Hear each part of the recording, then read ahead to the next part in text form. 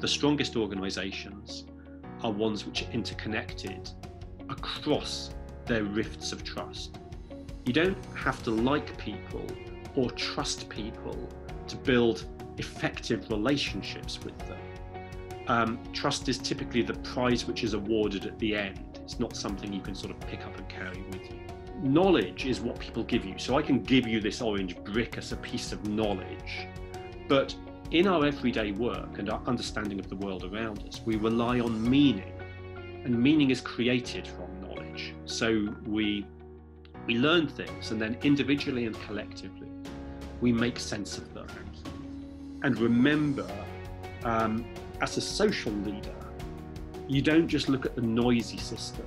You look at the parts of the system which are silent, and do that mindfully and, and share what you.